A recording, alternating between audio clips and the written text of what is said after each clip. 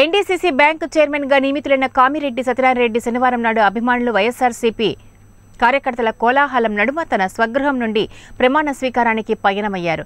వైఎస్ఆర్ విగ్రహానికి గజమాలతో నివాళి అర్పించిన అనంతరం కామిరెడ్డి అభిమానులు మరియు నాయకుల సత్కారాలు అందుకున్నారు. ఈ కార్యక్రమంలో రఫీ రాజారెడ్డి రామ్మోహన్ రెడ్డి దువ్వూరు నారాయణ రెడ్డి మద్దాల సోమశేఖర్ రెడ్డి మొదలగు నాయకులు కార్యకర్తలు పాల్గొన్నారు.